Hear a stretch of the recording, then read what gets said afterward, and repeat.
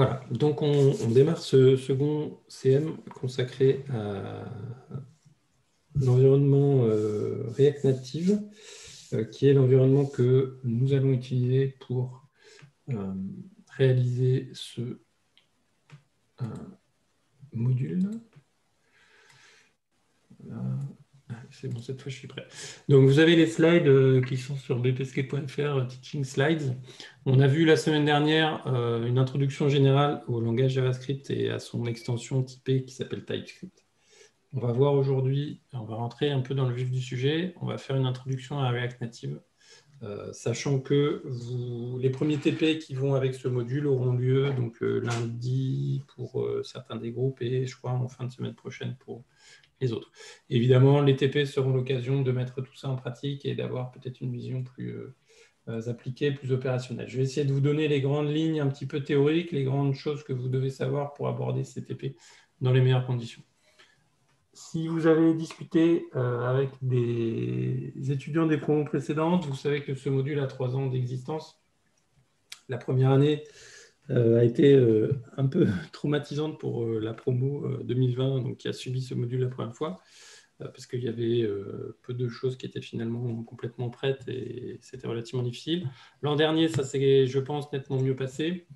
Voilà, du coup, cette année, on a décidé de faire quelques petits changements qui devraient, j'espère, pas trop impacter votre capacité à suivre ce module et à produire, à le comprendre, en tirer des, choses intéressantes et arriver à faire les choses qu'on voit vous demandez.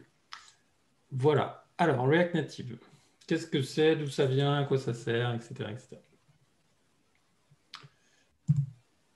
On va faire ça en quatre temps. on va discuter de manière globale un petit peu de l'écosystème mobile à l'heure actuelle, euh, faire nos premiers pas avec React Native en créant une application euh, et en, regardant un petit peu ce que ça donne, comment ça fonctionne. Ensuite, on va un petit peu ouvrir le capot du moteur, voir ce qu'il y a à l'intérieur d'une application React Native. Et dernière partie euh, importante, je vais essayer de vous présenter la notion de composant qui est vraiment au cœur de la manière dont fonctionne euh, React Native. Donc, c'est quelque chose qu'il faut absolument que vous ayez compris. Enfin, encore une fois, les TP vous aideront hein, en complément. Mais plus vous avez compris de choses avant de commencer les TP, plus vous allez gagner du temps. Alors, cet écosystème mobile, euh, est à l'heure actuelle euh, ressemble à peu près à ça. Alors, ce sont des graphiques d'il y a déjà quelques années. Je n'ai pas pris le temps de les mettre à jour, mais ça n'a pas dû beaucoup évoluer depuis. Euh, grosso modo, vous savez qu'il y a une espèce de duopole. Alors, ce n'était pas le cas il y a encore quelques années. Hein. Vous voyez que ça a quand même assez fortement bougé entre la fin des années 2000 et le milieu des années 2010. Mais grosso modo, on a maintenant un duopole Android iOS et le reste est complètement marginal, voire inexistant. ce duopole existe en.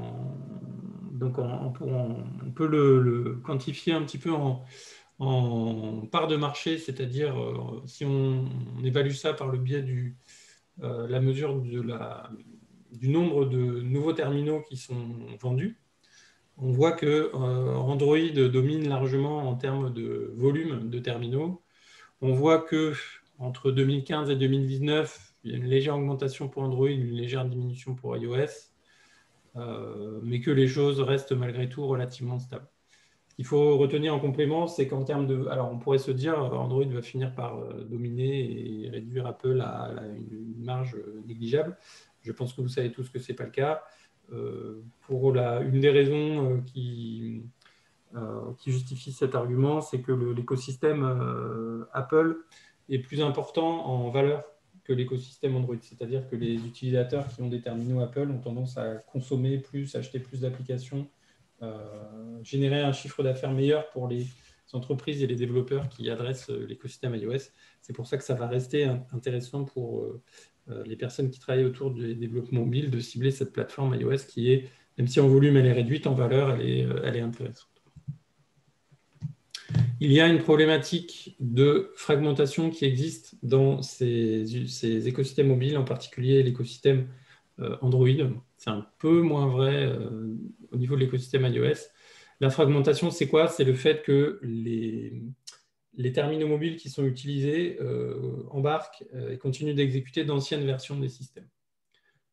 alors là encore, ça c'est des choses qui datent de 2018, mais grosso modo, vous pouvez, c'est à peu près la même chose maintenant avec des, les versions qui ont encore un petit peu évolué. Mais il y a des gens qui exécutent encore Android avec des versions qui datent d'il y a 5-6 ans. c'est un peu moins vrai encore une fois pour l'écosystème iOS parce que euh, ceux qui ont des téléphones ou des iPads le savent, euh, Apple pousse euh, assez fortement pour que justement les utilisateurs basculent vers la dernière version. C'est important d'un point de vue développement, ça, parce que au moment où on décide de réaliser une application mobile, eh ben, il va bien falloir que l'application puisse être utilisée par ses clients utilisateurs potentiels. Et si vous ciblez euh, une version, par exemple, trop récente de euh, la plateforme Android, vous risquez de vous interdire euh, l'utilisation de votre application par toutes les personnes qui ont encore d'anciennes versions du système Android sur leur téléphone.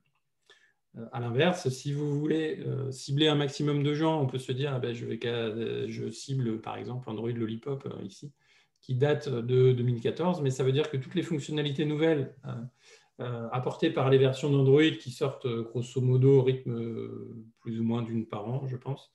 Toutes ces fonctionnalités nouvelles, vous n'y avez pas accès. Donc, c'est un, dilemme qui est difficile à résoudre, qui, encore une fois, existe un, peu plus côté Android, mais qui existe aussi malgré tout côté, côté iOS. Donc, si on veut réaliser une application mobile et en tenant compte de ces paramètres, on a en fait trois possibilités. La première possibilité, c'est de faire ce qu'on appelle le développement natif, c'est-à-dire qu'on va cibler euh, une plateforme, donc euh, Android ou iOS, hein, les autres peuvent grosso modo être négligés. On va cibler euh, une plateforme en utilisant la technologie qui était prévue par le concepteur de la plateforme, donc Google ou Apple. Android, c'est Java ou bien éventuellement un dérivé un peu plus récent de Java, j'aurais pu préciser qui s'appelle Kotlin. iOS, euh, ça sera soit Objective-C, euh, qui est un langage dérivé du C++, ou bien Swift, qui est un langage un peu plus euh, récent, qui peut ressembler à peu près à grosso modo du C ce qu'il faut retenir évidemment, c'est que ces technologies sont incompatibles. C'est-à-dire qu'une application qui va cibler Android écrite en Java ne pourra pas tourner sur iOS et l'inverse est également L'intérêt de se faire du développement natif, c'est qu'on a accès à l'ensemble des fonctionnalités matérielles et logicielles du terminal qu'on cible, évidemment. Il n'y a pas d'intermédiaire. Hein. Euh, en termes de performance, c'est la meilleure solution, en particulier euh, si on a besoin justement de, performance dans le cadre de tout ce qui est jeux, 3D, etc. L'inconvénient énorme, c'est qu'on va devoir écrire non pas une, mais deux applications.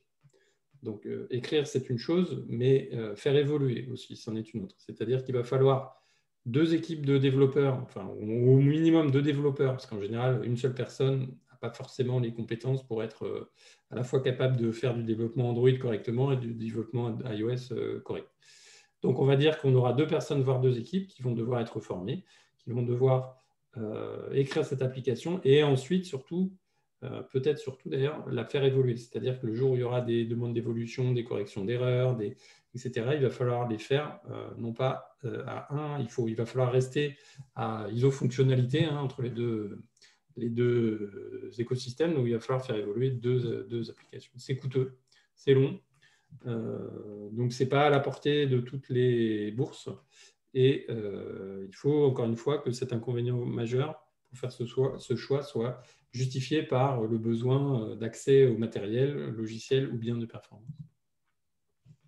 Une deuxième euh, possibilité pour faire du développement euh, multiplateforme, c'est de cibler, enfin, d'utiliser un framework, un outil donc dédié, et de créer ce qu'on appelle une application hybride. Une application qui va pouvoir s'exécuter indifféremment, soit sur iOS, soit sur Android.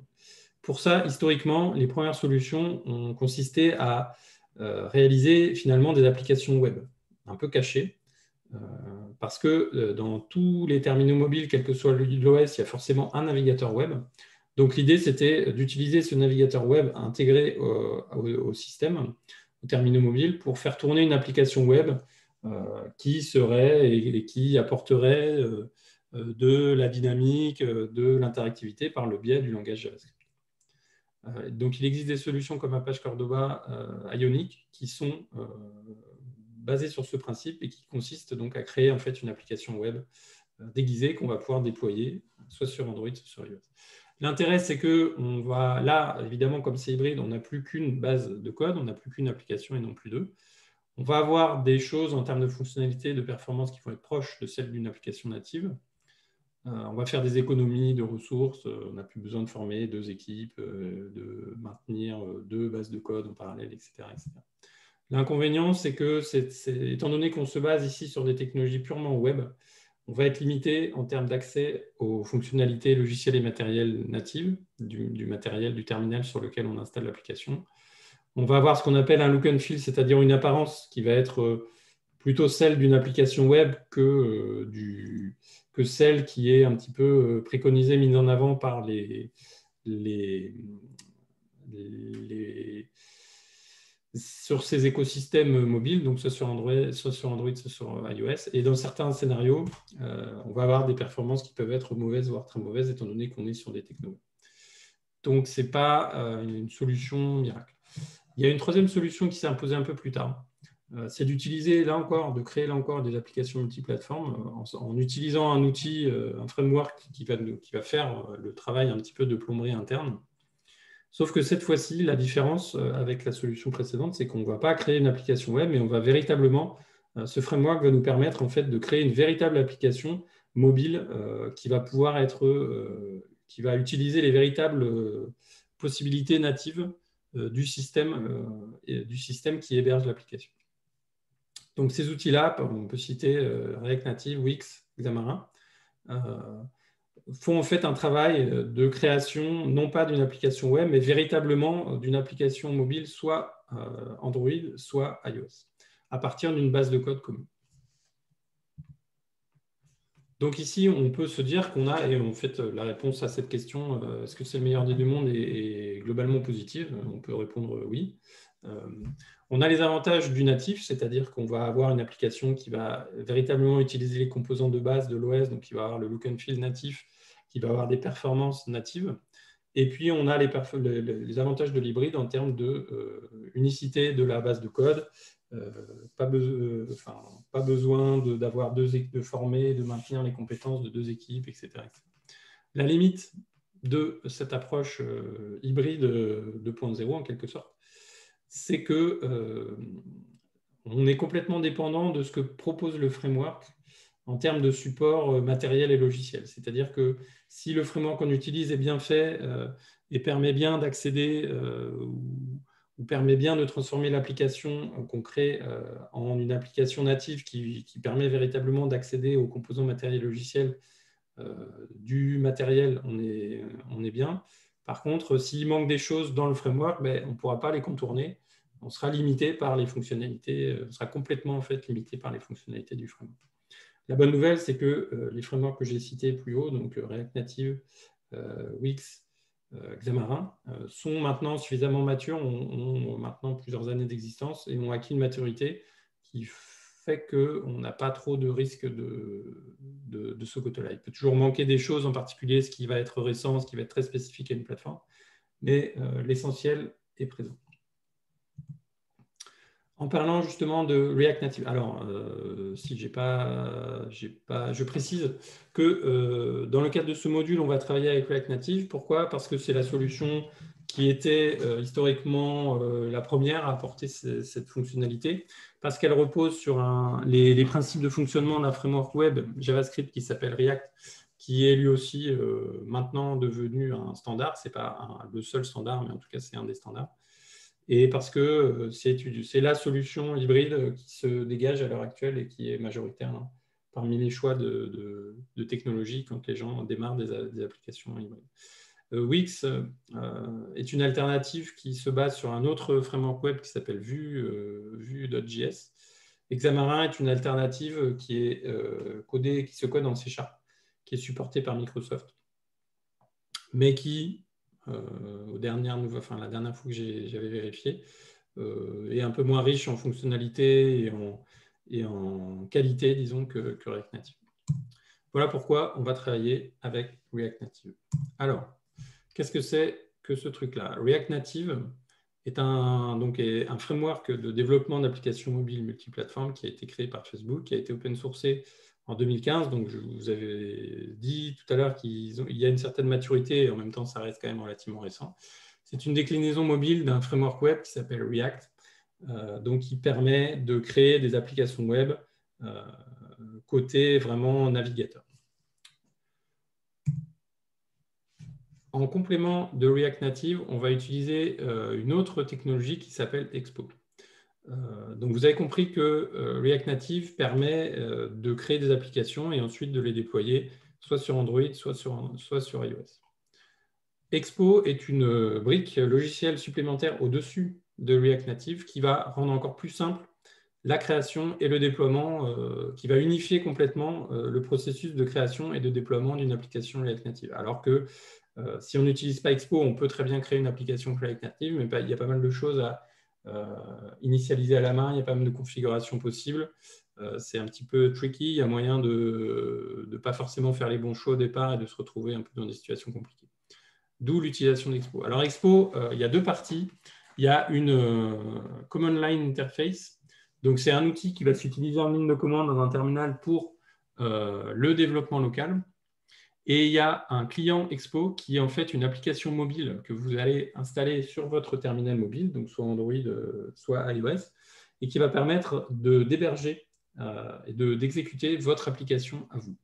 Alors, ça, évidemment, c'est dans le cadre où, dans un cadre de développement. Si, vous avez une application mobile que vous faites avec React Native Expo et qui est finalisée que vous voulez déployer, vous pouvez euh, suivre les étapes habituelles de publication de l'application sur le store et dans ce cas-là, vous n'avez plus besoin d'Expo. Par contre, au moment du développement, euh, Expo est un outil qui facilite un peu les choses.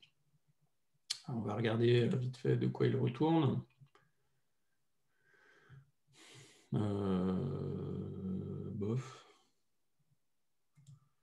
Je préfère ce lien. Voilà. Donc CLI, c'est l'interface en ligne de commande. Vous allez l'utiliser euh, dans un terminal et vous allez taper des commandes et ces commandes vont produire un certain nombre de résultats pour créer des projets, exécuter les projets, etc. Expo, euh, l'application Expo, c'est vraiment l'application mobile que vous allez installer sur votre terminal. Donc, il va falloir que vous ayez deux choses pour que vous puissiez travailler sur un poste avec React Native. Euh, Expo CLI. Sur le poste, il faudra Expo CLI. Et sur votre, le terminal mobile que vous voulez utiliser, que vous pouvez utiliser pour tester votre application, il faudra installer l'application Expo Client. Euh, vous aurez le temps de le faire d'ici le prochain TP. Ne le faites pas dans les minutes qui viennent. Je préfère que vous continuiez à m'écouter.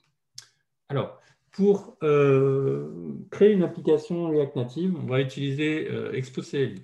Pour avoir Expo CLI sur un poste, il va falloir l'installer. Il va falloir l'installer euh, en utilisant le plus simple, c'est d'installer euh, NPM qui, je vous le rappelle, on en a parlé la dernière fois, est le gestionnaire de package, euh, le gestionnaire de, librairie de, de Node.js. Node.js est en lui-même l'environnement qui permet d'exécuter JavaScript en dehors d'un navigateur web. Donc, il faudra auparavant que vous ayez installé Node.js. Une fois que vous aurez installé Node.js, vous lancerez la commande npm install -g. Alors, -g, c'est pour moins global c'est-à-dire que ça va s'installer euh, globalement au niveau du système. Exposé. Il faudra que sur votre poste, vous ayez Node et vous ayez aussi installé Git.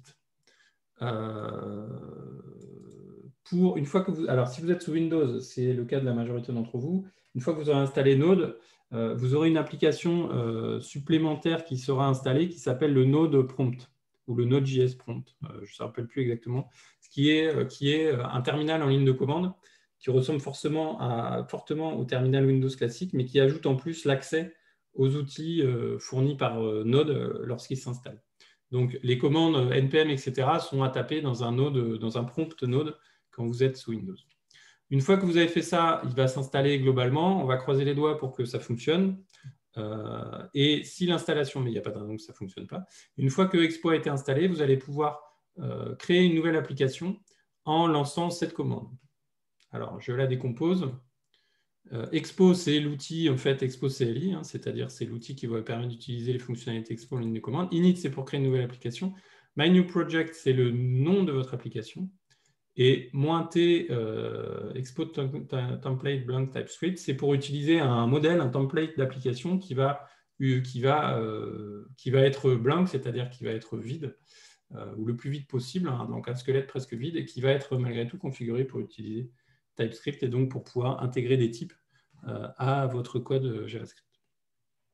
Il faut savoir qu'Expo permet de travailler dans deux modes différents qu'on appelle des workflows. Il y a un workflow dit manager où le projet est euh, géré de A à Z, de A à Y, on va dire, par Expo, et un workflow bear qui est, comme son nom l'indique, avec moins de choses à porter par Expo et plus de choses qu'on a à configurer, à décider et à effectuer manuellement.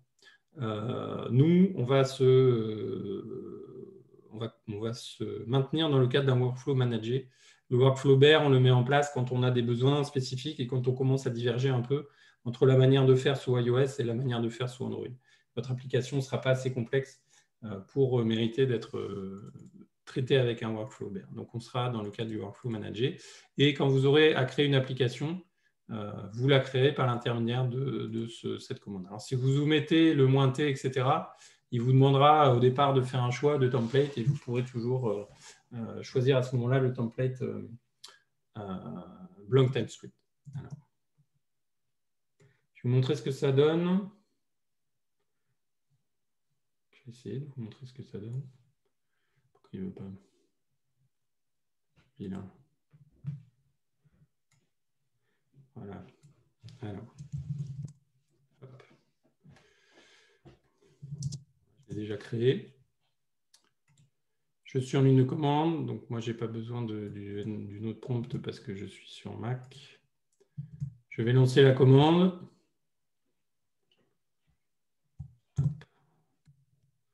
Je change de nom parce que moi, j'ai déjà un répertoire qui s'appelle My New Project. Hop. Alors là, il va me dire un certain nombre de choses. Euh, premièrement, il me dit euh, qu'il y a une version plus récente de Expo CLI, etc. Je vais ignorer ce message. Je vous passe, j'ai déjà un message important. une des principales difficultés de ce module, c'est la configuration matérielle, enfin la configuration plutôt logicielle, parce qu'il y, a tout un ensemble de choses qui doivent fonctionner ensemble. Une fois que ça fonctionne, il ne faut pas s'amuser à faire de mise à jour si on n'a pas une très bonne raison. Et moi, j'ai un environnement là qui fonctionne chez moi. Euh, j'ai la version 3.11 de Expo CLI, il me propose la 4.0.17. Je vais lui dire, OK, euh, c'est bien noté, mais j'en veux pas. Euh, je préfère garder cette version un peu plus ancienne plutôt que de prendre le risque d'une incompatibilité avec quelque chose que j'ai par ailleurs. Je vous conseille de suivre aussi ce principe. À partir du moment où ça fonctionnera, ne touchez à rien. Ça, un peu, ça paraît un peu bizarre de dire la chose comme ça, mais je, vous conseille d'être un petit peu frileux sur les mises à jour et les installations de dernière version une fois que votre environnement fonctionne. Dans le cadre de ce module, vous n'y touchez plus. Et après, si vous, voulez ensuite le mettre à jour, pourquoi pas. Voilà. Alors, Ensuite, il me dit qu'il euh, faut que je tape le nom fait affiché de l'application. Donc, je vais le taper. Il va me générer tout un tas de choses. Il va créer un, un dépôt Git. Il va installer ce qu'on appelle des dépendances. C'est-à-dire que euh, Expo et l'application React Native, pour fonctionner, elle a besoin de tout un tas de choses. Euh, tout un tas de, librairies, d'outils, de bases, etc., qui ont même parfois besoin d'autres choses, etc. Et donc, de fil en aiguille, on a euh, tout un tas de ce qu'on appelle des dépendances qui sont téléchargées.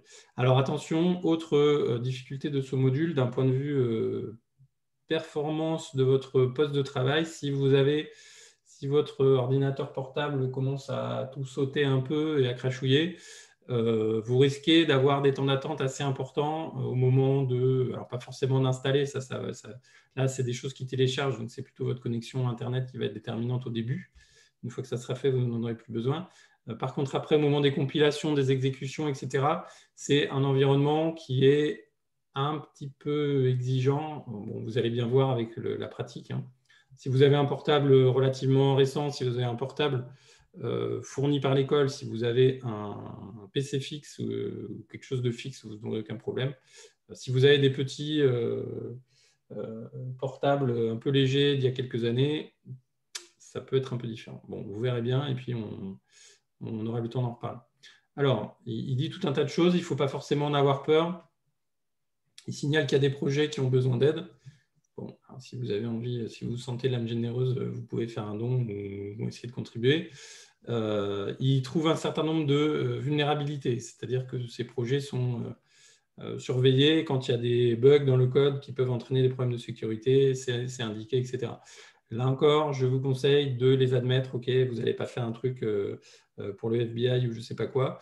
Donc, s'il y a des vulnérabilités, ne cherchez pas forcément à toutes les éliminer. Vous risquez de tomber dans, un, dans, un, dans une problématique ensuite de, de non-compatibilité, etc., etc. Voilà. Alors, ce qu'il m'a fait concrètement, c'est qu'il m'a créé un répertoire MyNew. Alors, il faut retenir que cette commande crée un nouveau sous-répertoire quand on fait un expo init. Et dans ce sous-répertoire, il y a un certain nombre de choses qu'on va regarder ensemble tout de suite. Il y a ça. Euh, donc, expo init permet de générer tout ça. Qu'est-ce qu'il y a là-dedans? Alors, le mieux, c'est peut-être que on regarde ensemble avec le meilleur éditeur de code de l'univers. Ça, Visual Studio Code. Euh, alors, je vais me déplacer à l'endroit où il m'a créé ça. Voilà, je vais ouvrir le répertoire. Et je retrouve dans euh, mon environnement de développement ici le contenu du répertoire que je vous ai montré. Alors, pour vous faire une description rapide, Expo Shared, euh, il n'y a pas grand-chose dedans. A priori, vous n'avez pas besoin d'intervenir. Assets, c'est là que vous allez trouver euh, les ressources chargées par votre application, notamment tout ce qui va être image, splash screen, donc l'image au chargement, etc. Donc ça, c'est un, répertoire dans lequel potentiellement vous allez pouvoir ajouter des choses. Non-modules. Non-modules, attention qu'un jour, voilà, non-modules, il y a beaucoup de choses dedans. Je ne vais pas rentrer dans les détails, ce n'est pas la peine. Non-module, c'est le répertoire qui contient toutes les dépendances de notre application. Il existe pour toutes les applications créées avec Node.js. Donc, quand vous utilisez l'application npm install ou quand vous rajoutez des packages à votre application, en fait, il va les télécharger à l'intérieur de ce truc-là. Alors, euh, vous n'aurez pas forcément à intervenir, si ce n'est que parfois, quand on veut réinstaller une application et qu'on a des problèmes, euh, on peut utiliser. Ah, j'ai raté une question. Euh, je, termine ça et je, reprends ta question, Inès. Parfois, c'est utile de supprimer complètement tout ce répertoire. Alors là encore, petit warning, une application Expo, c'est souvent plusieurs centaines de mégas de dépendance dans nos modules. D'accord? Pas, pas 1 ou 2 ou 10 mégas, mais plutôt 100, 200, 300. Voilà, donc en termes de place sur votre disque, si vous êtes un peu juste juste, euh, si vous avez moins d'un ou deux gigas libre, euh, il va falloir faire de la place si vous voulez créer des applications avec Expo. Et parfois, quand on est dans des situations où euh, on a des mises à jour bizarres, on veut tout reprendre depuis zéro, hop, ce truc-là, on le supprime. De toute façon, ce répertoire ne contient pas votre code, il contient que des dépendances qui sont téléchargées. Donc, si vous le supprimez, ce, qui va se produire, c'est que vous allez devoir tout retélécharger. Ça peut être la seule conséquence négative. Voilà. Le fichier .gitignore, vous le connaissez, il permet de, demander à Git d'ignorer certains fichiers. Ensuite, on a un certain nombre de choses euh, que je vais vous détailler au fur et à mesure. Alors, je rebranche sur la question d'Inès. Est-ce qu'on peut utiliser Yarn? Oui, euh, Yarn, c'est un autre euh, gestionnaire de dépendance qui est une alternative à, à NPM.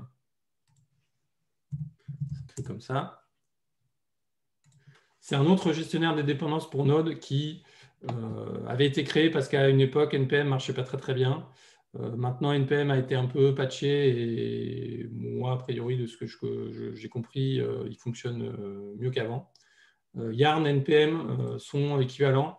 Moi, tout ce que je vais vous montrer se base sur NPM, mais en général, en remplaçant, NPM par Yarn, vous arrivez au même résultat. À noter que sur l'aide de React, Yarn a été créé aussi par Facebook euh, sur les aides en ligne officielles de React et de React Native, euh, souvent, il y a, Yarn est utilisé plutôt qu'NPM. Mais les deux vont, fonctionner. Alors, on a vu l'arborescence. Non, on n'a pas vu l'arborescence. Euh, alors, je vais respecter ce que j'avais prévu de vous faire. Je vais, voir, je vais vous montrer directement comment on déploie une application mobile une fois qu'on l'a créée. Donc, je suis dans le répertoire de mon application mobile. Hop, faire ça pour plus de clarté. Je reviendrai tout à l'heure sur le rôle euh, de chaque fichier pour vous expliquer. Je vais taper npm start. Donc, évidemment, il faut que npm fonctionne. J'ai toujours l'update, mais je ne vais pas en tenir compte, je m'en fiche. Et là, ce qui va se passer, c'est que Expo va se débrouiller pour que je puisse déployer mon application. Alors, j'ai plusieurs solutions pour la déployer. donc, vous voyez que dans la console, il m'a mis un QR code. Et il m'a ouvert dans mon navigateur web un autre onglet qui correspond en fait à un, serveur web qui tourne localement, là, localhost, et qui va aussi éventuellement me permettre de scanner le QR code pour pouvoir accéder à mon application. Euh, alors, je vais essayer de respecter. Voilà. Donc, bon, euh, quand je suis en CM euh, dans un vrai amphi, je branche mon téléphone sur sortie, enfin, sur l'entrée vidéo et je montre que je scanne le QR code et je montre que ça marche sur le téléphone. Là, je ne peux pas le faire. Ce que je peux faire, plutôt que de cliquer n'importe où, c'est de vous montrer qu'on peut aussi utiliser, je vais vous montrer tout de suite, un, émulateur. Pour tester une application React Native, vous allez avoir deux possibilités. Soit vous utilisez votre terminal mobile, téléphone ou euh, tablette, ça marche aussi. Soit vous utilisez un émulateur. Euh, donc, si vous utilisez le téléphone ou la tablette, vous allez scanner le QR code, euh, ce qui va vous envoyer, en fait, qui va vous ouvrir, c'est un lien vers l'application Expo. Donc, il faut que l'application Expo soit installée sur le terminal mobile et Expo va vous, vous permettre de lancer l'application. Si tout va bien, si votre application compile, etc., vous allez avoir accès à votre application sur le terminal mobile. Sinon, on peut aussi utiliser un, émulateur, soit en cliquant, si, alors moi je suis sur iOS, donc, euh, enfin non, il y a les deux d'ailleurs. Euh, mais le, choix Android ne fonctionnera pas.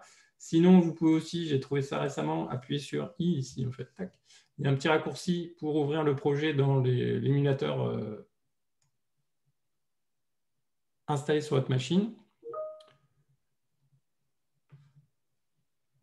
Bon, j'étais censé en fait être sur le workshop euh, AI for Industry. C'est pour ça que j'ai des messages et que j'étais un peu en retard.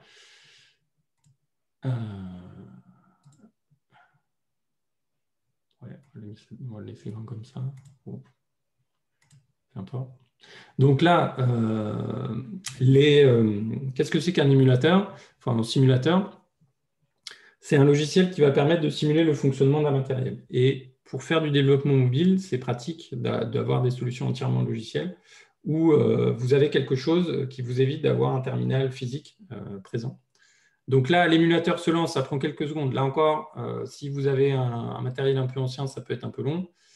Euh, ensuite, euh, l'application Expo se lance sur ce dispositif. Le code JavaScript de mon application est en train d'être compilé. Qu'est-ce qu'il m'a dit là on va négliger l'erreur. Tant que ça marche in fine, on va négliger cette erreur pour l'instant. Donc vous voyez que, alors moi j'ai pas une machine de course, mais j'ai pas non plus euh, une machine, euh, j'ai pas non plus un ultrabook euh, d'il y a 10 ans. donc ça peut être un peu lent. Alors c'est surtout lent à la première, au premier lancement. Ensuite, il recompile que le code qui a changé, donc ça ne sera pas à chaque fois aussi long que ce à quoi on est en train d'assister maintenant. Voilà. C'est bientôt terminé. Donc là, ce qui se passe, c'est que c'est le code de mon application React Native qui est en train d'être compilé pour pouvoir être euh, exécuté via l'émulateur que je viens d'afficher. Et youpi, euh, ceci est une application mobile euh, qui est maintenant déployée et utilisable sur le terminal. Alors, je vais vous montrer d'ores et déjà peut-être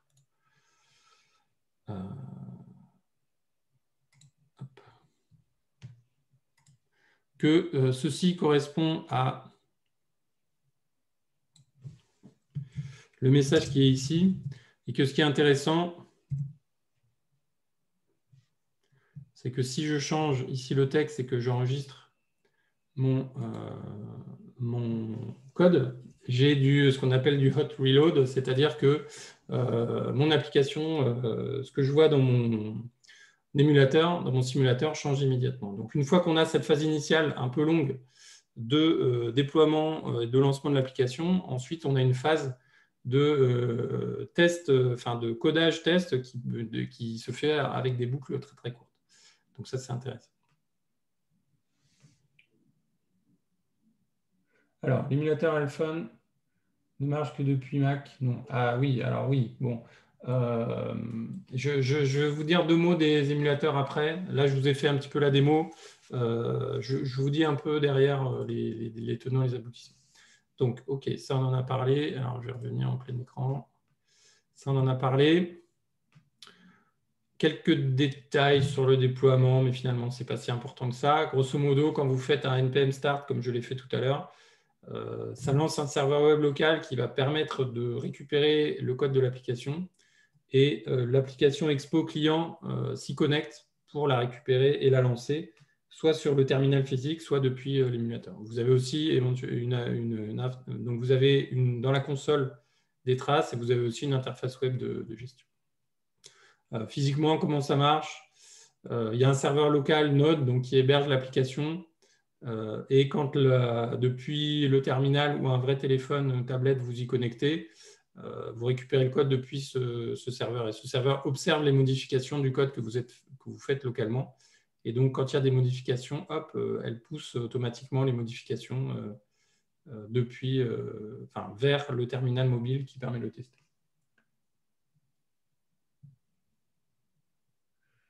Alors, émulateur, il y a des gens qui sont en train de débattre sur le chat. J'y viens, c'est l'histoire d'émulateur. Alors, pour vous connecter au serveur depuis, si vous voulez tester depuis une application, depuis votre téléphone, depuis votre terminal, euh, la conséquence, c'est qu'il faut, la conséquence de ça, euh, ça c'est votre téléphone. D'accord On va dire que c'est un téléphone, j'en ai marre de dire terminal mobile. On va dire que c'est votre téléphone. Là, il y a votre code, et donc votre code, quand vous faites npm euh, start, il est sur un serveur web qui tourne sur votre machine de développement, sur la machine sur laquelle vous êtes en train de coder. Ça veut dire qu'il va falloir que votre téléphone puisse accéder à votre machine locale pour récupérer l'application et faire tourner l'application sur le téléphone. D'accord? Il faut qu'il y ait celui. Ce lien peut se faire de plusieurs manières. Si vous utilisez la solution LAN, alors je vous remontre, c'est la solution de connexion qui est en fait ici. Si vous utilisez l'application LAN, vous allez, euh, vous allez vous connecter via le réseau local. Étant donné que vous utilisez un téléphone, il s'agit d'un réseau Wi-Fi. Donc, vous allez vous connecter à votre, vous allez connecter votre téléphone à votre machine de développement via le réseau Wi-Fi. Ça veut dire que les deux machines doivent être sur le même réseau Wi-Fi. Et ça peut poser problème dans le cas de certains environnements Wi-Fi sécurisés, notamment, on s'en est rendu compte euh, douloureusement la première année, notamment le Wi-Fi de l'ENSC qui euh, bloque cette fonctionnalité-là pour une raison que je n'ai pas encore réussi à euh, vraiment comprendre. Mais chez vous, il n'y a pas de raison que ça ne fonctionne pas. Donc le mode LAN, le, mode LAN, c'est le mode que vous devez privilégier si vous êtes chez vous que vous avez une box, un réseau Wi-Fi ou un partage de connexion Wi-Fi, enfin bref, euh, vous mettez votre téléphone et votre machine de développement sur le même réseau Wi-Fi et normalement le mode LAN fonctionne sans problème. Il existe un autre mode qui s'appelle tunnel qu'on a été obligé d'utiliser à l'ENSC. Donc là, quelque part, le confinement, enfin non, le confinement, le distanciel, pardon, euh, j'anticipe, le distanciel a du bon. il existe un autre mode, c'est le mode tunnel. Le mode tunnel, ce qui se passe, c'est que vous allez euh, ouvrir en fait un, tunnel entre votre euh, machine locale de développement sur lequel euh, tourne votre, il y a votre code et votre téléphone en passant par Internet. Donc pour aller de votre téléphone à votre machine qui peuvent être distantes d'environ 50 cm, vous allez en fait passer, faire tout le tour, entre guillemets, passer par Internet et revenir via Internet euh, donc votre téléphone va se connecter à Internet, va se connecter à un service spécial qui va ouvrir un tunnel vers votre application, vers le serveur web local. Et c'est ce qui va vous permettre à, votre, vos téléphones de télécharger votre application. Donc ce mode euh, est à privilégier dans les environnements où le mode LAN ne fonctionne pas. Euh, voilà, voilà. Alors, les histoires maintenant. Euh, l'émulateur est une alternative pratique à l'emploi d'un véritable terminal mobile, donc téléphone ou tablette, pour pouvoir déployer l'application. Euh, pour pouvoir euh, utiliser un, émulateur pour déployer vos applications React Native, il va falloir que l'émulateur soit installé sur le poste. Euh, alors, il y a tout donc un débat sur le chat, je vais laisser les experts se prononcer, mais euh, parce que moi je ne suis pas forcément spécialiste de ça et je suis plutôt du côté Mac. Euh, a priori, ça nécessite que vous installiez l'environnement de développement natif adapté à la plateforme, à savoir Xcode qui est l'environnement de développement Apple pour faire du dev euh, sur euh, la plateforme iOS, du dev natif, ou bien Android Studio, qui est l'environnement de développement euh, par défaut quand on veut faire du développement natif Android. Et ces deux éléments-là embarquent un émulateur qui va vous permettre de simuler telle version de matériel avec telle version de l'OS, etc., etc., Donc après, il va falloir cibler une version, si ce n'est pas le plus important. Euh, je vous ai mis les liens vers la documentation. Ça, c'est un truc euh, pour lequel je vais vous encourager à partager des infos entre vous. C'est-à-dire que visiblement, il y a des gens qui ont déjà fait quelques tests. Euh, moi, a priori, je, pensais que c'était plutôt un peu cloisonné, c'est-à-dire que si vous voulez travailler sur iOS, il vous faut Xcode et ça ne fonctionne que sur Mac et vice-versa pour Android. C'est peut-être un peu moins simpliste que ça. Je vais vous laisser chercher et trouver les solutions par vous-même. Je vous conseille d'essayer d'installer, euh, d'essayer d'avoir un émulateur disponible parce que c'est quand même assez pratique quand on fait du développement. Alors, le, hot reload que je vous ai montré avec l'émulateur marche aussi depuis un vrai téléphone. Mais euh, le vrai téléphone, vous pouvez avoir des soucis de batterie, des soucis de euh, il n'est pas là, etc. etc. Donc, c'est quand même pratique d'avoir cet émulateur et dans la mesure du possible, euh, on peut télécharger Android Studio pour Mac pour l'émulateur Android. Ok, très bien. Eh bien. Pourquoi pas? Vous pouvez essayer. Là, je ne vous donne pas de consignes précises, euh, si ce n'est que j'aimerais bien que vous arriviez à vous débrouiller pour, d'ici lundi prochain, avoir l'environnement de développement que je vous ai montré, à savoir Node, Expo CLI, Expo sur votre téléphone si vous testez avec votre téléphone, ou bien un émulateur installé sur le poste si si vous choisissez plutôt la solution émulateur. Ce que je viens de faire en testant une petite application, en créant une petite application et en la déployant sous vos yeux, vous pouvez aussi le faire sans forcément pour l'instant comprendre ce qui se passe, juste histoire de vérifier que votre environnement fonctionne. Sinon, vous risquez de passer du temps pendant le premier TP. Alors, je pense qu'il y a des gens qui seront, chez qui ça ne fonctionnera pas forcément du premier coup.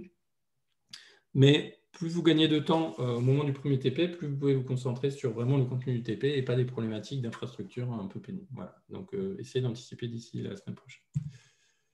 Alors, euh, il me reste peu de temps pour vous dire beaucoup de choses. Je n'ai pas euh, évoqué en détail le contenu des différents fichiers là, qui composent une application React. Je commence par le moins important. Il y a un fichier qui s'appelle app.json. Alors, JSON, je vous rappelle que ça signifie JavaScript Object Notation.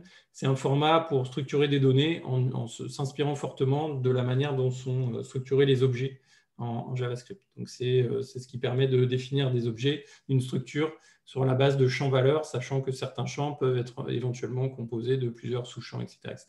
Donc là, vous avez un exemple de fichier JSON sous les yeux. Euh, ça dit quoi là-dedans? Ça dit, euh, par exemple, quelle icône on utilise pour l'application. Est-ce qu'il y a un splash screen? Euh, La couleur Certaines options spécifiques à Android ou iOS ou web. Bon, voilà. Ce fichier .json, en général, on n'y touche pas trop. Enfin, en tout cas, pas, pendant qu'on développe l'application. Donc, pour l'instant, on va laisser de côté. Il y a un autre fichier un petit peu plus important, c'est le fichier package.json. Ce fichier, c'est le fichier qui rassemble toutes les dépendances de l'application. Euh, donc, c'est le fichier qui dit que mon application Node, alors ça, ce n'est pas euh, spécifique à React Native ou à React, hein, c'est spécifique, c'est commun à toutes les applications basées sur Node.js. Elles ont un fichier package.json qui définit de quoi elles ont besoin pour fonctionner. Donc, dans l'entrée euh, dependencies, vous avez tout ce qui va être nécessaire pour que l'application fonctionne. Ça veut dire que le jour où vous, voulez, vous allez pouvoir installer votre application sur un nouveau poste, NPM va installer et positionner dans euh, Node Modules tout le contenu de ce qu'il y a euh, là-dedans, sachant que ici, ce sont des grosses librairies, par exemple React, React DOM, qui ont elles-mêmes d'autres dépendances, euh, qui peuvent elles-mêmes encore avoir de dépendances. C'est pour ça que ça fait un peu boule de neige et qu'au final, tout se retrouve dans Node Modules et que le, le contenu du répertoire de Node Modules peut être très important. Vous avez une autre entrée qui s'appelle Dev Dependencies, qui sont les dependencies dont vous avez les dépendances dont vous avez besoin pour coder l'application. Donc celles-là, le jour où vous allez vouloir déployer et utiliser votre application, elles ne seront pas téléchargées. Par contre, si vous voulez modifier le code de votre application, vous en avez besoin. Euh, grosso modo, il y a l'outil Babel qui est l'outil qui fait du transtypage entre les versions de code de JavaScript, euh, qui, convertit, qui est capable de convertir le code d'une version à l'autre. Et vous avez tout ce qui va concerner TypeScript. Après, si on remonte, vous avez un point d'entrée qui ne changera pas et un certain nombre de scripts. Donc là, c'est ce qui se déclenche en fait quand on tape npm start ça revient à écrire Expo Start, donc on pourrait directement taper Expo Start. Si vous voulez taper directement, cibler directement une des deux versions, voir le web, vous pouvez utiliser euh, NPM Android, NPM iOS, etc. La commande eject euh, permet de sortir du workflow manager pour basculer dans le workflow bear et, euh, gérer plus de choses à la main. Donc encore une fois, on ne l'utilise que quand on arrive aux limites de ce que peut offrir Expo en mode manager. Après, a priori, ces limites, vous n'allez pas les toucher. Euh, donc euh, la commande eject, vous ne la lancez pas parce qu'elle est irréversible. Et euh, ensuite, vous, passez sur un mode où vous allez vraiment, vous allez avoir, vous allez cibler iOS et Android séparément et ça rend un certain nombre de choses plus compliquées. Ensuite, et enfin, vous avez le fichier principal de l'application app.tsx qui ressemble à ça. J'ai copié, collé exactement ce que j'ai dans dans mon, euh, dans mon Visual Studio Code. Qu'est-ce qu'il y a là-dedans? Il y a euh, des informations dans un format qui s'appelle TSX, donc je vais dire deux mots juste après. Euh, dans ces fichiers, il y aura toujours trois parties. Une partie d'import qui vont nous permettre d'accéder à certains composants, à certains éléments définis dans les, les packages dont, notre application dépend pour fonctionner. Donc, s'ils n'ont pas été installés euh, via NPM, euh, vous aurez des erreurs. Il vous dira qu'il n'a pas trouvé tel ou tel module que vous essayez d'importer. Ensuite, vous avez ici la définition. En fait, c'est l'équivalent du, main, du point d'entrée dans votre application. Euh, si on regarde ce main, il retourne une vue avec un certain style. Et dans cette vue, il y a du texte et il y a une barre de statut. Si on descend un petit peu pour regarder ce qui de s'intéresser au style, le style est défini sous la forme d'un objet qui contient un certain nombre de propriétés. Et donc ensuite, je peux y accéder par le biais de mon objet style propriété. Donc ici, cette syntaxe, ça veut dire que je vais appliquer le style, les styles définis dans la partie, euh, dans l'objet en fait container à cette vue. Ça, c'est relativement euh, transparent. Donc, on, s'intéressera au stylage euh, lors, du prochain, lors du prochain CM. On retrouve des choses qui rappellent un peu le, fonctionnement du web, évidemment. Voilà. Donc, ça, c'est une application écrite en React Native. Évidemment, cette syntaxe, elle est nouvelle pour vous, sauf si vous avez déjà fait du React. Euh, elle est nouvelle, il va falloir l'assimiler. Et c'est une des difficultés de ce module, c'est qu'il il y a beaucoup de choses qui sont nouvelles et il y a, peu de choses finalement parmi ce que vous avez fait jusqu'à présent sur lesquels vous allez pouvoir vous appuyer pour comprendre certaines spécificités. Allez, je vais vite.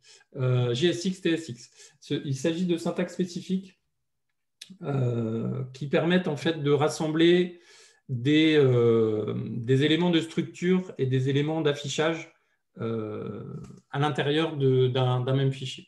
Donc, React, la nouveauté de React, plutôt que de c'est pareil comme on faisait avant, comme on faisait du développement web, le HTML pour la structure, le CSS pour la mise en forme, la mise en forme et le JavaScript pour l'animation, par le côté interactif. Ça a été de rassembler ça et de rassembler ça euh, à l'intérieur de ce qu'on va appeler des composants. Euh, donc on va créer, on va passer son temps en fait à créer des composants et on va pouvoir les gérer en tant qu'objet, par exemple ici. Hein. Euh, ça c'est un code, un React hein, pour le web. On va pouvoir créer un composant qui correspond à une balise H1 avec l'affichage à l'intérieur euh, d'une variable définie, euh, définie par ailleurs. On va pouvoir faire la même chose avec React Native euh, en, codant ce qu'on appelle du code JSX ou bien du code TSX qui est tout bêtement l'équivalent de JSX avec le support de TypeScript. Alors, pour terminer, justement, peut-être la partie la plus importante de ce CM, j'espère que vous n'avez pas encore trop faim, les composants.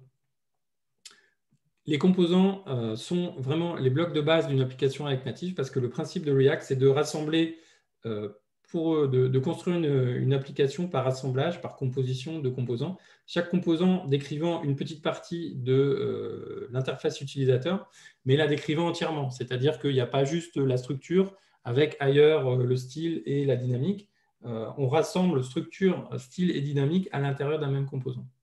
Et donc, euh, ces différents composants, une fois qu'ils vont être définis, on va pouvoir les assembler pour créer, pourquoi pas, d'autres composants plus importants. Euh, on va avoir une logique de, composition euh, qui eux-mêmes pourront faire partie de composants encore plus importants, etc. Et il y aura à un moment donné un gros composant qui est le composant de base qui, correspond en fait à l'affichage de, de l'application au moment où elle se lance.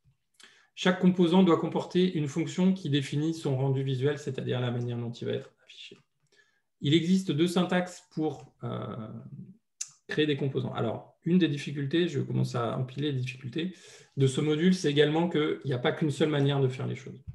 Et ça, c'est compliqué parce que vous allez forcément tomber sur de l'aide en, ligne, des tutoriels, etc., qui sont pour d'anciennes versions ou à l'inverse des versions plus nouvelles.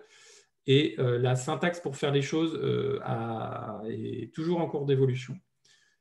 Donc, c'est assez difficile de, euh, de, vous dire il faut faire les choses comme ça et pas autrement parce qu'il y a plein de manières différentes qui ne sont pas forcément moins bonnes les unes que les autres. On va quand même essayer, pour vous simplifier la vie, de se mettre à peu près d'accord entre nous entre Sébastien et David. Alors, je ne vous ai pas dit d'ailleurs, j'aurais dû, que dans le cadre de ce module, on va travailler à trois. Euh, moi-même, Sébastien Bertrand, que vous connaissez déjà, qui est intervenu en GL, et David Morin, qui travaille avec Sébastien chez OnePoint, qui est un expert web front, en particulier Angular et TypeScript. Et donc lui, il va nous apporter des compétences en particulier en TypeScript qu'on est loin d'avoir, en tout cas que moi je suis loin d'avoir et que Sébastien, je ne sais pas s'il a, a, non plus. Voilà. Donc on a une équipe de choc, et notamment grâce à David. Euh, fin de la parenthèse.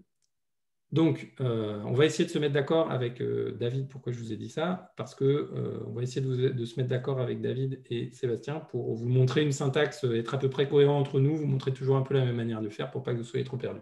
Mais il y a un petit risque que vous soyez un peu perdu, je vous le conseille. Alors, euh, j'étais en train de vous expliquer comment créer des composants. Il y a deux manières de créer des composants. On peut créer des composants en utilisant des fonctions. Ça aussi, c'est un peu nouveau. Déjà, la syntaxe de définition des fonctions JavaScript avec euh, les fonctions fléchées, c'était nouveau. Je vous avais dit la, dernière fois que c'était souvent utilisé par les outils récents. C'est le cas en particulier pour React et React Native. Euh, donc, ceci, ceci est un chat. ceci, plus précisément, est, est un composant qui s'appelle chat, cat, il est créé sous la forme d'une fonction. Alors la fonction, elle est là. Exactement. Ah. Elle est là. Voilà. Ça, c'est une fonction. Et cette fonction, qui est une fonction anonyme, euh, on va l'affecter à la variable qui s'appelle chat. Et ce chat, on va euh, l'exporter. Alors, export default, ça veut dire que euh, en JavaScript, quand vous écrivez un fichier, alors plus précisément un module, mais grosso modo un fichier, vous pouvez choisir d'exporter à l'extérieur un certain nombre de choses et en particulier, vous pouvez choisir ce que vous allez exporter par défaut. Donc ici, dans ce fichier, il n'y a qu'un composant, le composant qui nous permet de définir le chat, et on va l'exporter par défaut. Et si ce fichier est le code de mon application React Native, il affichera le chat à l'écran. Je vais vous montrer juste après. donc, ceci est une fonction. Ça, ça indique que la fonction ne prend pas de paramètres. Et ceci, et la valeur de retour de la fonction. Donc la valeur de retour de la fonction, c'est définit, euh, définit le enfin, cette fonction, pardon, je vais être plus précis, cette fonction définit le rendu visuel de la fonction. C'est ce que je vous ai mis là. Euh, chaque fonction doit comporter, euh, chaque composant pardon, doit comporter une fonction qui définit son rendu visuel. Ça, c'est la fonction qui définit le rendu visuel de mon chat. Et plus précisément, la valeur de retour de ma fonction, je vais vous la mettre en évidence si j'y arrive elle est là. C'est un composant texte avec dedans euh, un texte et une variable que j'ai définie juste au-dessus sous la forme d'une variable. Alors, si je veux voir ce que ça donne, je vais faire un petit copier-coller. Je vais basculer dans mon application. Wow.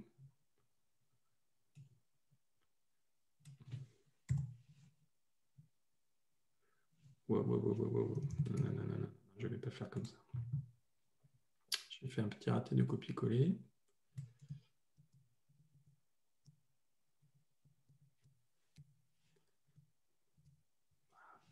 Hop, je sauvegarde. Je vais voir dans mon émulateur. Est-ce que j'ai sauvegardé au bon endroit? Non. Si. Et alors? Alors, parfois, si, voilà. Euh, il a mis un peu de temps à se rafraîchir. Euh, le composant chat, il est là-haut. D'accord On ne le voit pas très bien. Parce que là, j'ai mis il n'y a aucun style, aucune mise en forme. Donc, euh, c'est bien écrit Hello, I am Maru. Et donc, c'est le, composant quasiment le plus simple qu'on puisse créer, qui s'affiche ici dans mon application. Donc ça, ce sont les composants fonctions. Il existe une autre manière, j'en ai encore pour pas très longtemps, euh, de créer, euh, disons, euh, ouais, quand même 10 minutes, je pense. une autre manière de créer des composants en, écrivant des classes. Alors là, vous allez vous retrouver peut-être plus sur des choses que vous connaissez un peu mieux. Ceci, je ne vais pas vous faire la démo, mais vous allez me faire confiance, j'espère. ceci produit exactement les mêmes résultats que précédemment. Vous voyez que simplement, j'ai utilisé une syntaxe de définition de mon composant complètement différemment. J'ai choisi de le créer en créant une classe une classe qui hérite de euh, la classe React.component, la classe component définie dans le module React, dans le package React, et euh, la fonction qui euh, définit le rendu visuel d'un composant classe correspond à la méthode, à une méthode qui s'appelle render. Donc cette méthode qui s'appelle render envoie exactement la même chose que tout à l'heure. la différence entre les deux est que cette syntaxe est plus concise, plutôt à réserver aux composants pas trop compliqués, euh, et que cette syntaxe, on va l'utiliser euh, plutôt pour rendre explicite un certain nombre de choses quand on a des composants un peu plus compliqués. Alors, la dernière partie. Euh, la dernière partie. Ce qu'il faut que vous sachiez avant d'attaquer les TP, pour terminer, c'est qu'un composant React ou React Native, il dispose de deux éléments pour intégrer des données, les propriétés et l'état. Les propriétés qui sont souvent abrégées props pour un composant sont des caractéristiques qui sont définies au moment de la création et qui sont immuables, sauf euh, quand il s'agit de... Enfin, il n'y a, que le composant parent dans l'arborescence des composants, il n'y a que le composant parent euh, qui a le droit de modifier euh, les propriétés d'un composant. Donc, on va, utiliser les, les props, les propriétés, pour donner aux composants, pour définir les choses qui vont être statiques, qui ne vont pas forcément bouger, euh, les, propriétés de base euh, qui vont le caractériser. Pour un utilisateur, son nom, euh, son, sais pas quoi, son nom, son prénom, etc. Enfin bref, on peut envisager tout un tas de, choses différentes. Les propriétés, donc, ce sont les caractéristiques, les attributs qu'on va définir au moment de la création du composant. Si on prend cet exemple ici, on commence à avoir des choses un petit peu plus compliquées. Je crée un composant ici, greeting, qui hérite de composants. Alors, vous aurez noté que là, j'hérite de react.component et là, j'hérite uniquement de component. Pourquoi? Parce que j'ai rajouté ça. Si vous avez ça dans votre import, vous n'êtes pas obligé de préciser react.component. Par contre, si vous n'avez pas cet élément-là, ici je ne l'ai pas, je suis obligé de mettre non pas component, mais react.component. Retenez ça parce que ça va vous éviter de vous prendre un peu la tête euh, si vous avez des problèmes euh, en disant component non trouvé, etc., Alors, ce, euh, ce composant greeting, il a une méthode render qui va renvoyer hello suivi du nom. Mais là, on voit que le nom, je vais le chercher dans les propriétés de mon composant. Et les propriétés de mon composant existent parce que je les ai initialisées par le biais de mon constructeur. Et ici, plus précisément, euh, je euh, précise via TypeScript que ce composant correspond à ça, c'est un objet. Ce que je mets, faites bien attention à la, délimitation que je donne, c'est important. Le fait d'inclure les accolades, ceci que je viens de mettre en surbrillance, ceci est un objet, enfin, correspond à la définition d'un objet qui a une propriété name.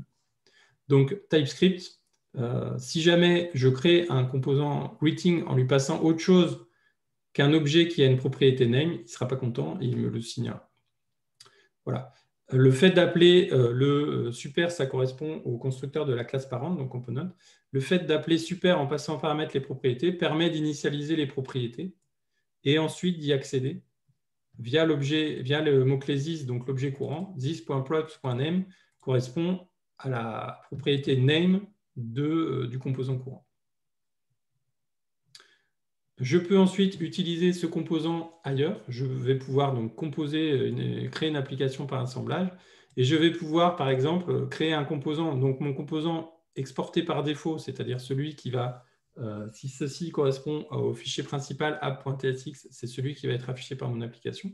Lui-même, il s'agit d'un composant, donc il hérite de composants, et sa méthode render contient une view avec à l'intérieur trois composants greeting que je viens de créer et juste un, style. Alors, vous voyez qu'on peut définir aussi le style en ligne. On n'est pas obligé d'à chaque, fois utiliser l'objet style. Les styles en ligne sont à réserver quand on a peu de styles à préciser, sinon il vaut mieux utiliser le const style de, tout à l'heure, comme, je vous comme je vous l'ai montré. Donc si je euh, montre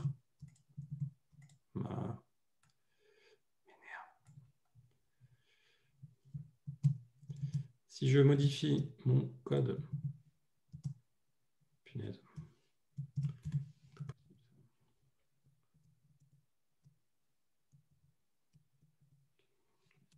je recopie, si je ne recopie pas, ça risque pas de marcher. Est-ce que je vais y arriver?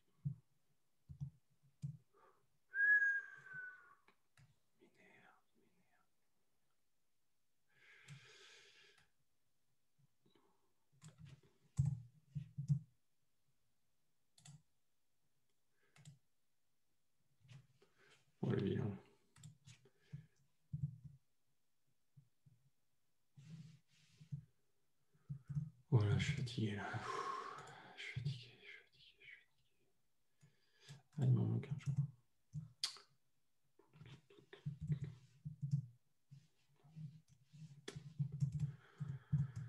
SOS. Alors, je vais y arriver. Je vais tricher. Essayer de tricher. Je lui donne une dernière chance. Voilà. Alors, voilà mon code.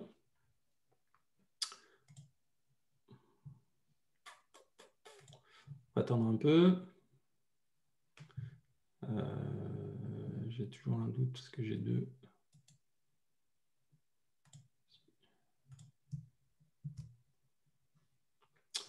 Deux applications. Là, j'ai mes trois composants. Donc, encore une fois, j'ai juste centré euh, horizontalement. Donc, euh, je les ai tous les trois. Mais j'ai trois instances du composant euh, greeting dans mon application mobile. Alors, je vous ai mis aussi des liens vers autre chose. un environnement en ligne qui s'appelle Snack, qui permet, qui peut être aussi pratique qui permet de euh, créer des applications React Native entièrement en ligne dans le cloud sans avoir besoin de rien en local. Donc ça, c'est la solution de repli.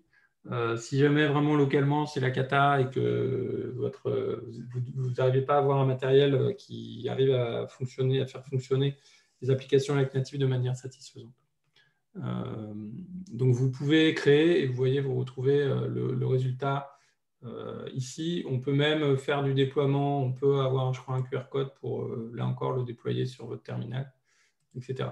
Bon, après, on est limité, on est assez vite limité, c'est bien pour faire des petits tests ou pour faire des petites démos, mais pour créer des véritables applications, ça reste euh, un petit peu limité.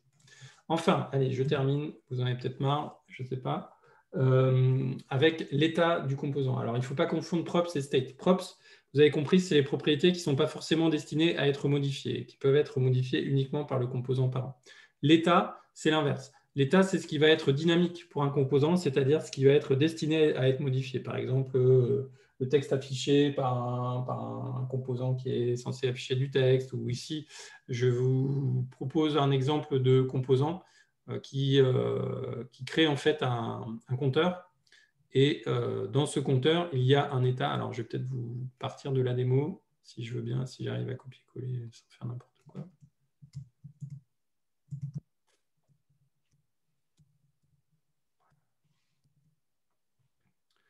Donc, je copie-colle. Je vais attendre un tout petit peu de... Alors, je peux quand même commencer quand même à vous montrer qu'est-ce qu'il y a là-dedans. Euh, on peut partir du composant donc exporté par défaut, c'est-à-dire le composant principal de mon application. C'est une vue avec dedans un compteur. Ce compteur, je lui passe en paramètre une couleur et une taille. Voilà, je retourne voir du côté de mon application, mon compteur, il, bouge. Et en fait, ce qui va euh, déterminer ce qui est affiché ici, ça va être quelque chose qu'on va positionner dans l'état du composant, parce que c'est destiné à évoluer, à bouger au fur et à mesure de la, vie du, composant. Si je reviens, qu'est-ce que c'est que ce compteur? C'est un composant qui a un constructeur. Le constructeur prend en paramètre des propriétés. Donc, cette propriété, correspond à un objet avec un paramètre couleur, qui est une chaîne, et un paramètre taille, qui est un nombre. Donc, on fait appel au, super, euh, constructeur de la superclasse pour initialiser les propriétés. On va créer l'état interne sous la forme d'un objet. Ça, c'est un objet. Je vous rappelle qu'une euh, paire d'accolades ouvrant fermante, c'est ce qu'on appelle un objet littéral en JavaScript. Et qu'un objet JavaScript, c'est un assemblage de propriétés. Donc, ceci est un objet avec une propriété count dont la valeur vaut 0.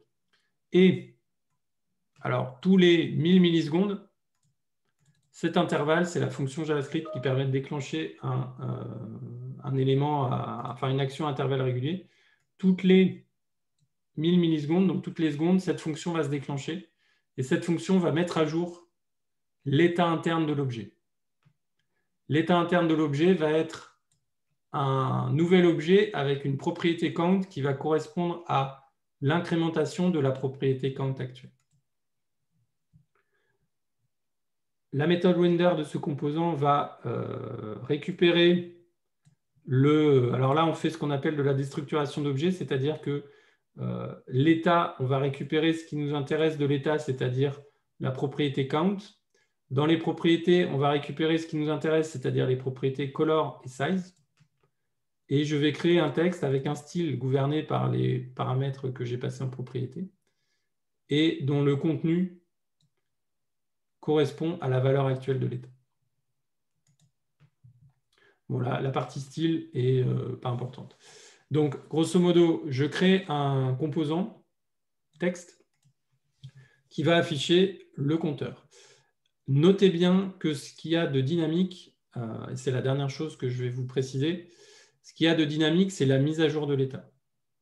À aucun moment, je dis à mon composant rafraîchis-toi. Je dis juste à mon composant ton état change. Et le fait que l'état change déclenche la mise à jour de l'affichage du composant. Autrement dit, déclenche l'appel de render et le, réaffichage. C'est pour ça que toutes les 1000 millisecondes, je vais mettre à jour l'état de mon composant, ce qui va déclencher la euh, mise à jour de son affichage. Et voilà ce qu'il faut euh, comprendre au niveau de l'état. Alors, on va avoir le temps, la problématique de gestion de l'état d'une application React Native est complexe. On en reparlera. Euh, j'en ai assez dit pour aujourd'hui. voilà, retenez déjà en première approximation la différence importante entre les propriétés et l'état d'un composant, l'état qui est donc mutable. Je vous ai mis là encore la démo qui correspond à, ce code.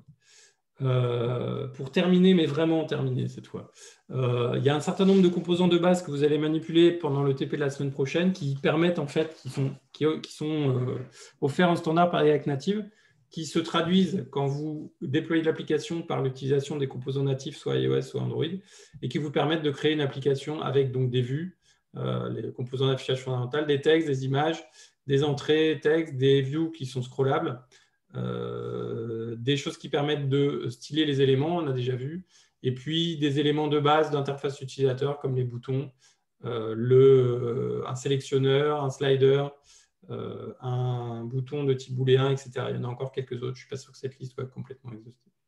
Voilà, donc le prochain TP, euh, consistera justement à se familiariser avec ces, euh, à créer vos premières applications avec Native et à se familiariser avec ces composants de base. Je vous encourage, comme je vous l'ai dit, à essayer d'installer déjà l'environnement euh, chez vous le plus possible en avance de phase pour pouvoir gagner un maximum de temps lors du premier TP. Est-ce que vous avez des questions? Est-ce que l'environnement est déjà installé sur les PC prêtés par l'école? C'est une bonne question. Euh, la réponse est euh, oui, normalement. C'est-à-dire que, euh, en principe, il y a une version de Node. en principe même, il devrait y avoir une version de l'émulateur Android. Je l'avais demandé l'an dernier parce que ça manquait.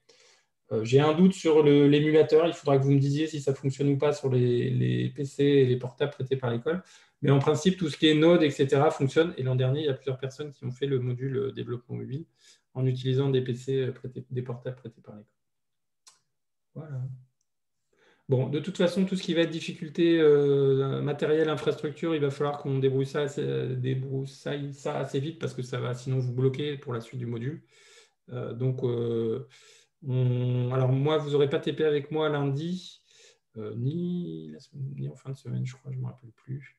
Vous aurez TP avec Sébastien et David qui sauront vous expliquer les, choses. Et si jamais il y a des difficultés, de toute façon, je pense que ça remontera jusqu'à moi et on, essaiera de. On a quelques jours là pour faire en sorte que tout le monde puisse travailler dans des conditions correctes sur ce module. Voilà. On en reste là. Je vous souhaite un bon appétit. Désolé pour le petit retard. Et puis, euh, bonne semaine à distance et rendez-vous euh, la semaine prochaine pour la suite des CM. Merci beaucoup. Au revoir. Merci beaucoup. Au revoir. Au revoir. Au revoir. Bon appétit. Merci. Au revoir.